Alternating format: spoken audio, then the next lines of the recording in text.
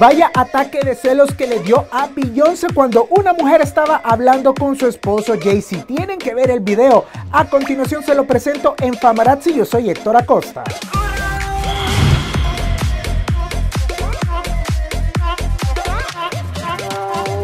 Y Tal como se los dije a principios de la semana, hoy ya es oficial. Irina Shayk y Bradley Cooper terminaron. Así lo confirmó la revista People en su versión en línea, donde establecen que ambos están trabajando en conjunto para compartir la custodia de su hija, quien nació en 2017. Pero a la separación la rodea constantes versiones sobre un romance de Bradley Cooper con Lady Gaga, con quien trabajó en Ha nacido una estrella. La química entre los colegas era palpable. Así lo dejaron ver en los premios Oscar durante su interpretación de Swallow. Hasta el momento, Bradley e Irina no se han pronunciado al respecto. Sin embargo, a ella se le dio sacar una maleta de la casa que compartía con el actor este pasado jueves. Tal parece que la fama y el ajetreo ya le pasaron factura a Maluma. Muchos lo están criticando que está bastante fuera de forma. Varios fanáticos usaron ayer las redes sociales para criticar el vientre que el cantante Maluma luce en algunas fotos tomadas estos días en Cabo San Lucas, México.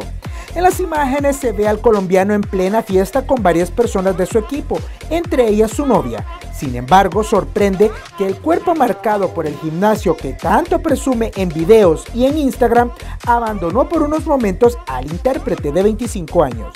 Varios internautas hicieron hincapié en el look de Maluma en traje de baño, pues aunque se ve relajado, es notable la diferencia en la tonificación de músculos que presume en su serie documental. Y vaya momento ácido que vivió Beyoncé durante un partido de básquetbol cuando una mujer intentaba conversar con su esposo Jay-Z. El ataque de celos quedó grabado en video y ahorita se lo presento. La cara de Beyoncé lo dice todo. Ella no estaba nada cómoda con la intervención constante que estaba teniendo una mujer que estaba sentada a su lado izquierdo, mientras que ésta intentaba conversar con Jay-Z quien se encontraba a su derecha. Los ojos de la cantante demostraron lo incómoda que estaba siendo la situación.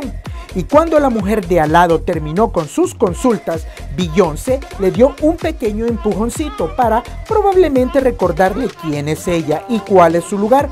El video se ha hecho viral. De verdad de que fue un momento bastante incómodo y Jay-Z no dijo absolutamente nada.